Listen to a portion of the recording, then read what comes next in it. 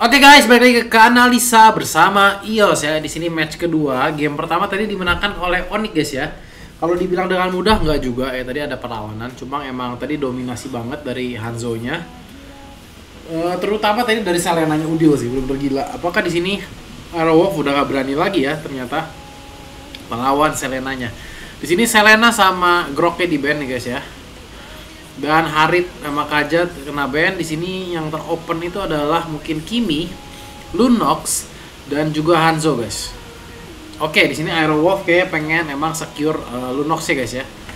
Karena dia merasa permainan Lunox dari si Trust ini bagus, jadi mereka kunci Lunoxnya. Apakah di sini Aerowolf berani mengambil Hanzo? Karena walaupun segigi apa pun ya, segigi apa pun hero orang, kalau kalian itu belum biasa mainin ya, dia belum tentu berani ngambil gitu. Di sini Drian bakal ngambil Chow ya. Enggak guys ya, Drian lebih memilih Akai. Di sini bagus banget menurut gua Akai sama Kimi emang mengganggu banget. Itu kombinasi yang kayak tidak terpisahkan gitu guys karena uh, Akai itu bisa cover si Kimi ini dengan baik banget. Nah, di sini gua rasa Aerof akan ngambil Chow ya. Dan juga di sini Hellcard kebuka ya, Hellcard kebuka. Apakah Hanzo guys ya? Soalnya kalau misalkan Hanzo-nya nggak di band nih guys ya, di band ketiga mungkin bakal diambil sama Onyx di last last pick. Dan mungkin Tamus guys ya, Tamus bakal diambil juga. Di sini uh, LG lebih memilih menggunakan Belleric ya, pure tanknya. Dan gua rasa di sini Onyx bakal ngambil Tamus. Ya, bakal ngambil Tamus dia guys. Feeling aja nih guys ya, feeling aja. Feeling gue sih bakal ngambil Tamus. Cuma ya kalau dia berpikir lain kan nggak tahu juga guys ya udah lock aja tamusnya jangan banyak mikir psycho tebu nih banyak mikir guys ya Weh, ini, ini, ini. Oh enggak guys ya, min sitar guys ternyata ya. Enggak, katanya gue ambil min sitar gue aja dulu nih. Di sini min sitar emang uh, salah satu counter alami dari Cho guys ya. Karena kalau Cho itu dimasukin ke dalam ulti min sitar ya, dia benar-benar nggak bisa gerak. Jadi min sitar ini 8 kali pick, 5 kali win ya, 3 kali lose. Ya, ini persentase yang lumayan guys ya buat seorang fighter di sini. Dan di sini ban yang akan dilakukan oleh Aerowolf sekarang ya. Mungkin akan ban Hanzo guys menurut gua. Apakah akan di ban Hanzo atau akan di ban Oke, yang di ban malah Tamus guys. Kayaknya Aerowolf pengen lawan Hanzo nih. Apakah Aerowolf pengen berani melawan Hanzo-nya? Di sini Onyx ya. Onyx akan ngeban juga apakah seorang Hayabusa ternyata di ban guys? Hayabusa di sini di ban oleh anti match ya. Hayabusa itu rate kecil banget guys ternyata. Cuma 29% walaupun sebenarnya menurut gua Hayabusa itu GG ya. GG banget guys menurut gua malah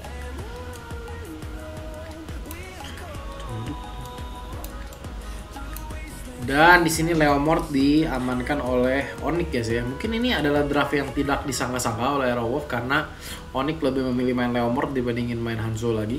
Mungkin Aerowolf juga bermaksud ingin melawan Hanzo-nya kembali ya kita nggak pernah tahu. Di sini Auzora kayaknya bakal ngambil Kari guys ya. Aerowolf itu gue tahu lebih suka Kari daripada uh, Cloud guys. Oke, Lolita guys ya. Jadi dua tank ya dua tank yang benar-benar keras bakal cover si jadi gini guys ya taktik Arrow ini menggunakan banyak tank keras ya supaya Lunoxnya pertama Lunoxnya kan bisa jaga diri sendiri istilahnya. Karena dia bisa pakai uh, kuningnya terus guys ya. Dan di sisi lain uh, karinya bakal farming dan di late game bakal karinya bakal uh, bakal banyak dapat perlindungan dari uh, Cho, Lolita dan Belleric. Terutama Lolita sama Belleric sih ya. Tambah shield ulti dari Belleric bakal susah banget mati Lunoxnya. Dan di si Billy ini menurut gue bakal ntar ke langsung ke side belakang bisa bunuh Hanzo-nya atau bunuh Leomord-nya. Hanzo-nya akhirnya di last pick ya guys ya sama uh, Onyx Esport di sini. Apakah game ini akan berakhir 1-1 atau 2-0? Oke okay guys, match sudah dimulai ya di sini.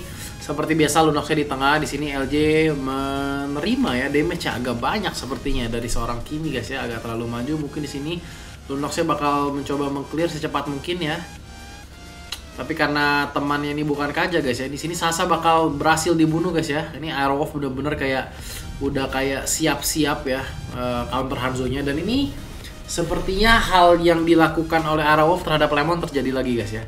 Di sini game pertama Hanzo berhasil hmm, farming lebih banyak ya karena dia ngambil buff sendiri. Tapi di sini kelihatannya Hanzo-nya bakal mati pertama dan mungkin uh, skillnya bakal dipakai ke uh, dia guys. Jadi kelomang ini bakal diamankan oleh Arrow Wolf feeling gua. Oke, di sini pertukaran yang normal guys ya, seperti biasa satu tukar satu untuk kelomang.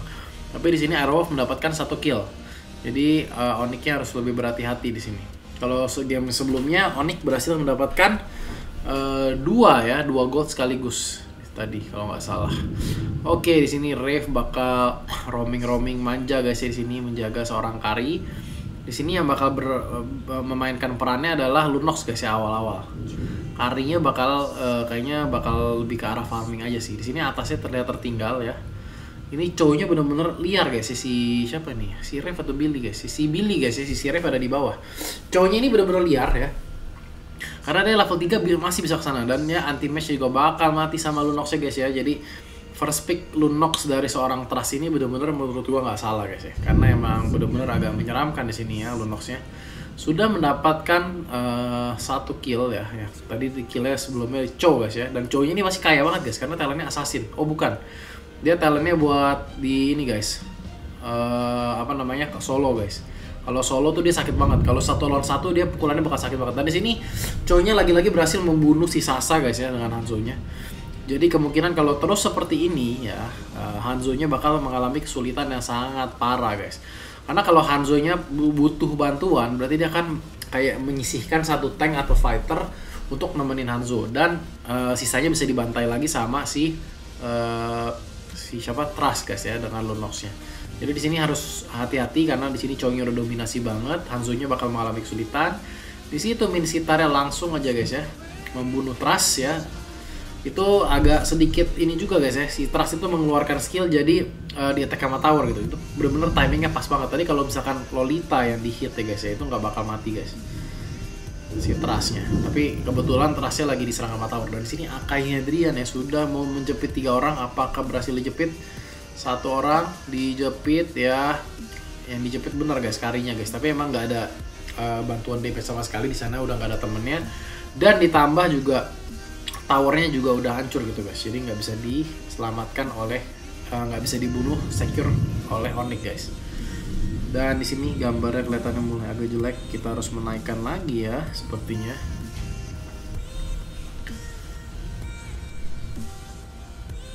Oke, di sini sekarang Aerowolf akan terus roaming ya ke bawah. Sekarang mulai membantu daerah Kari. Ya, Chow-nya mungkin akan ditinggal sendiri karena memang Chow dari Aerowolf ini bisa ditinggal sendiri dan mempunyai kemampuan untuk ngebunuh satu uh, satu lawan Hanzo guys. Tapi Hanzo-nya di sini juga pinter. Dia nggak mau sembarangan masuk apakah di sini ya Lunoxnya benar-benar dikunci guys ya sama Psycho dan sama Drian.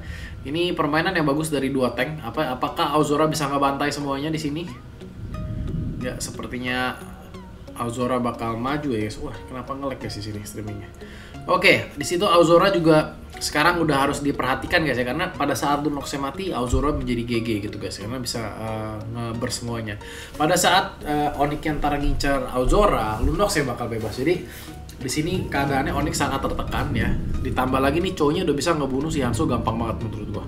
Ya Hanzo-nya bakal dibunuh lagi, ditendang dan di end sama Cho.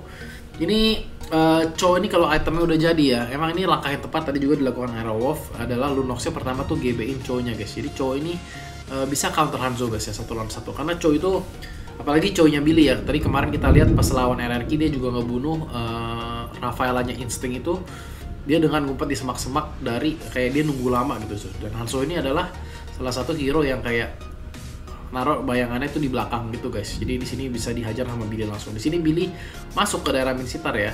Sepertinya nggak bisa skill satu nggak bisa skill 2 dia. Tapi Udil nggak menyanyiakan waktunya di sana. Ya langsung membersihkan uh, turret di bagian tengah. Dan di sini anti match apakah anti match akan mendapatkan tower bawah? Ya seperti akan dapat ya guys ya. Soalnya Udila juga udah datang ke sana. Di sini pertukaran menurut gua ya. Warnya memang dimenangkan oleh Arrow Wolf tapi pergerakan lebih bagus di Onyx guys karena mereka mendapatkan dua turret sekaligus. Sedangkan Arrow Wolf di sini harus mendapatkan tower atas kalau misalkan mau mengimbangi apa yang sudah didapetin Onyx. Oke, di sini dua dua tower uh, atas Onyx udah jebol. Jadi bakal lebih susah pergerakan ke arah atas dan Billy ini diberikan space yang sangat luas guys ya. Karena towernya udah nggak ada, uh, technically Billy itu bisa tendang siapa aja yang lewat ke dari area turtle itu guys dan kalau solo dia bakal bisa bunuh dan sekarang gua rasa Lunox, Kari, uh, Belric dan Lolita berempat ini akan ngepres ke arah tengah dan ke bawah terus-terusan ya. Cowoknya akan dibiarkan sendiri mulai sekarang. Karena Karinya juga item udah mulai jadi udah mulai sakit. Akanya ya langsung lihat ya. Akanya ini bener-bener uh, sering banget make uh, lompat dan flicker sekaligus guys. Jadi dia kayak oh dikira nggak nyampe ternyata dia masih bisa flicker lagi gitu loh. Mungkin itu agak out of meta ya biasanya orang-orang mungkin pakai Petri tapi ini yang kita lihat Grian ini hampir selalu pakai uh, flicker guys ya kalau Li Liam kayaknya masih pakai Petri guys Petrify guys Liam. Nah di sini lihat ya cowoknya menyusahkan memaksa Minsitar untuk naik dan di sini bakal pada saat Minsitar naik guys ya Lunoxnya akan ngepres guys. Tapi di sini sayang karinya masih agak jauh ya. Ini karinya bakal ngepus kalau karinya ngepus bakal bagus banget karena emang membuat bingung nih guys ya. Cowoknya ini udah ngebuat bingung.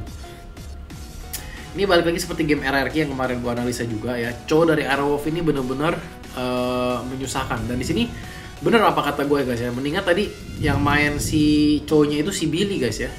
Tadi game pertama itu karena si Rev yang main cowoknya guys. Jadi menurut gue Billy ini uh, dijadiin damage cowoknya bakal lebih efektif. Tadi gue pikir Rev bakal main uh, tamu soalnya. Di sini akanya lihat ya. Selalu nunggu dia untuk nge-backup belakang guys. Oke, Lolitanya terciduk. Untung saja ya, untung saja si Kari itu masih bisa nahan. Di situ. Nggak terlalu maju guys. Dan di sini apakah cowok akan dibunuh? Oke, cowoknya masih darahnya setengah guys ya. Billy nampaknya sangat bermain aman di sini. Nggak mau terlalu terburu-buru juga walaupun uh, dari gold itu udah banyak banget dapatnya. Oke, anti match ya. Ternyata dia ngumpet di situ. Bagus juga dari Aof uh, berani ngecek-ngecek bus ya guys ya Oke, di sini kita lihat pergerakan Onyx akan mencoba mendapatkan turtle. Apakah akan didapatkan secara bebas? Di sini Trust akankah terjepit? Iya, Trustnya terjepit, ditarik sama Psycho. Tapi masih terjepit guys ya. Agaknya terburu-buru dari Psycho kalau kalian lihat tadi ya.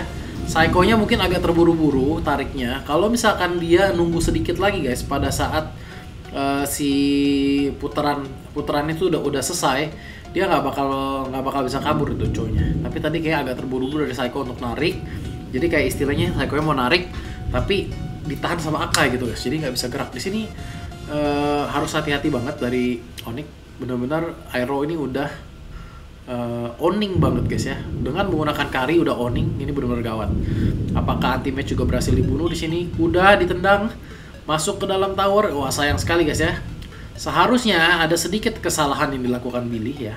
Seharusnya tadi itu ditendangnya agak ke arah atas guys, supaya kudanya nggak diterima ya. Tadi kalau misalkan kudanya nggak diterima pasti N-nya lebih cepat. Cuma ya walaupun seperti itu tetap bisa dibunuh dengan mudah oleh uh, cowoknya guys. Karena cowoknya itu udah fat banget seperti yang gue bahas sebelumnya. Cowoknya sangat fat, susah dibunuh dan ini cowoknya bakal ngepus sendiri. Apakah Belricnya akan dikejar ya Sasa bakal terus. Wah, Demon Hunter Sword ini parah banget guys ya. Lihat tanknya bocor guys. Tanknya bener-bener dibikin bocor gara-gara seorang Hanzo. Tapi di sini yang harus diwaspadai dari Arrow adalah cownya guys ya. Menurut gua Arrow eh Arrow ini harus bermain lebih aman sekarang ya. Uh, agresif tetap tapi harus lebih aman. Ini karena di sini kalau misalkan sampai Kari atau Lunoxnya uh, mati itu daya gempurnya si Arrow bakal berkurang banget dan itu akan membuat kayak istilahnya Onyx itu bisa comeback lagi gitu guys. Jadi di sini nggak bagus kalau misalkan dilakukan seperti ini terus. Harus waspada sama akainya menurut gua. Ya, akainya harus diwaspadai karena dia selalu menunggu untuk jepit ke tembok samping ini guys. Ya, akainya selalu nunggu lihat ya. Akainya tuh pokoknya selalu ada di belakang tower, dia akan jepit ke arah tembok selalu kayak gitu, nunggu terus. Jadi benar-benar uh, si Lunox dan harinya tuh harus hati-hati sama uh, akainya si Drian ini guys. Dia demen banget uh, ngejepit-jepit tiba-tiba dan langsung datang temennya ya di sini Chow masih masih belum masih belum ya guys ya dia belum masih mau hajar nih guys oke Chow-nya datang tendangkah boom stuck gila guys ya ini Chow-nya bener-bener kayak udah nge bisa ngebully siapa pun yang solo lane gitu guys di sini Onyx bakal kalian kesusahan banget ya di sini kelihatannya bakal ngelord aja langsung karena karinya dapat satu kill, cowoknya dapat satu kill. Ini adalah waktu yang tepat untuk lord. Mungkin dengan adanya lord ini Arrow bakal bisa dapetin minimal dua turret ya kalau beruntung ya. Ini hati-hati ya Sasa bisa saja mencuri oh, ternyata tidak guys. Apakah Psycho akan dimakan di sini? Psycho mau menggunakan sprintnya. Cowoknya Wah, cowoknya mati guys ya sama Psycho guys. Kalian apakah kalian lihat tadi guys ya? Cowoknya tadi kayak kesannya mau membunuh Psycho guys ya, tapi Psycho dengan gesitnya menggunakan sprint apa ya mengaget, mengagetkan ya mengagetkan cowoknya ternyata dia punya despair guys jadi cowoknya itu tadi darahnya tinggal sedikit langsung mati gitu guys jadi tadi eh, keputusan yang salah dari Billy guys ya, mesti dia kabur-kabur aja. Itu emang kalau Minsitare dicetok lagi bisa mati itu guys. Cuma tadi ternyata Minsitare mau hit juga, damage-nya terlalu besar, jadi cowoknya berhasil dibunuh. Dan di sini kelihatannya Aerowolf belum tentu bisa mendapatkan apa-apa karena 5 lawan 4 balik lagi cowoknya baru hidup. Mungkin dapat tower tengah. Oke, tidak berhasil dibunuh, langsung balik bayangan. Karena si siapa namanya? Eh, Hanzo ini guys, walaupun kalian stun kayak apa, dia tetap bisa balikin ke bayangan dia guys. Itu udah yang menyebalkan dari seorang Hanzo. Dan di sini kelihatannya ya karinya udah sakit banget, harus hati-hati ya. Waspadai aja akanya guys. Pokoknya tuh yang nyusahin di sini akanya doang guys ya. Kalau akanya udah berhasil dibunuh, sepertinya Onyx-nya juga akan mengalami kesusahan. Di situ LG berkorban ya. Ini tengah juga bakal diambil dan sepertinya bisa di end ini guys ya. Sepertinya bisa di end. Oke, mencoba mencicil tower tengah anti mage apakah bisa dihajar oleh Billy? Billy akan menghajar seorang anti mage ya. Wah, kenapa nggak dilanjutin guys? Kenapa itu nggak dilanjutin? Apakah tadi kayak mau agak jauh cuma nggak sempat dilanjutin? Itu sayang banget. Mestinya tuh anti mage langsung mati itu tadi guys. Tapi gara-gara nggak dilanjutin multinya, eh, dia berhasil menyelamatkan diri kayaknya. Dan dia motong creep terus itu di situ kalau nggak salah. Oke, dan dia berhasil kontes guys ya. Apakah Lunoxnya bakal bisa berhasil membunuh anti match? Iya, Lunoxnya bakal membunuh, tapi bakal dikejar sama Hanzo guys. Oke, enggak. Oke, di sini Onyx udah kosong ya, towernya udah kosong banget. Tinggal di end aja, kita lihat apakah yang terjadi dalam 2 menit ke depan menunggu Lord. Oke, harus hati-hati ya lihat ya. Driannya itu sangat menyusahkan guys, lihat. Driannya itu benar-benar rese guys ya, dia bisa menunggu di sana. Untung saja di cancel sama Cho. Oke, itu Drian udah bagus banget. Cuma emang eh, si Billy juga pinter untuk bisa berhasil cancel akainya, ya, dan akhirnya bisa dibunuh gitu si akainya. Dan ini kayak bakal di aja langsung karena creep udah masuk semua. Dan game kedua berhasil dimenangkan oleh Arrowwolf. Jadi di game BO2 ini ya berhasil disamakan satu-satu. Jadi Arrowwolf itu lawan energi satu-satu, lawan Onyx satu-satu. Jadi ini uh, Arrowwolf itu bisa dibilang adalah eh, tim yang salah satu tim yang paling kuat juga sekarang ya untuk di turnamen-turnamen Mobile Legend. Aerowolf dan Onyx lah guys ya. RRQ lagi sering kalah, EVOS lagi sering kalah, Lufre juga sering kalah, terus yang lainnya masih sering kalah guys. Onyx sama Aerowolf ini guys yang menurut gue sekarang dua terkuat untuk sekarang ini ya di di bagian Mobile Legend. Jadi gitu guys, gitu aja guys analisa gue kali ini. Ternyata Hanzo-nya berhasil dipatahkan dengan cara yang sama guys ya di First Blood oleh Aerowolf. RRQ kena, Onyx juga kena. Jadi mungkin para player Hanzo yang berikutnya bisa tahu ya guys ya. Gerakannya itu jangan sama terus gitu. Mungkin eh, kalian lebih mencoba ganti lane, switch lane atau tuker curi buff yang lain gitu guys. Itu menurut gua ya pendapat gua pribadi. Jadi semoga analisis gua kali ini bermanfaat buat kalian. Eh, matchnya juga menghibur buat kalian. Jangan lupa videonya di like, subscribe channelnya dan di share ke teman-teman kalian. Gua Mas Clemens, see you next time.